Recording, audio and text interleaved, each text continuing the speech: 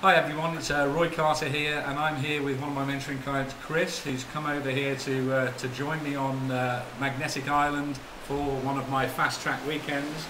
We're sitting here looking out at a, a wonderful view uh, over the islands, and uh, we've had a great weekend here.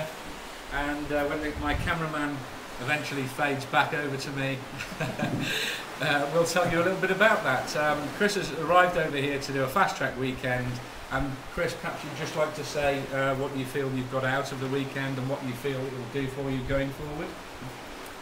Well, as a Neanderthal around this sort of internet business, it's been extremely enlightening and extremely worthwhile in terms of escalating my knowledge of what I can now do for myself.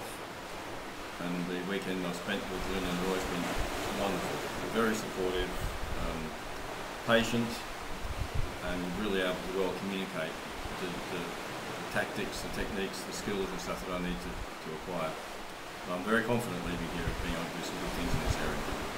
And thank you, both of you. Great, so you're off to catch the ferry now, uh, sadly yes. back home, yes. and uh, we'll see you next time. Okay, well done. Thank you. Cheers. very much.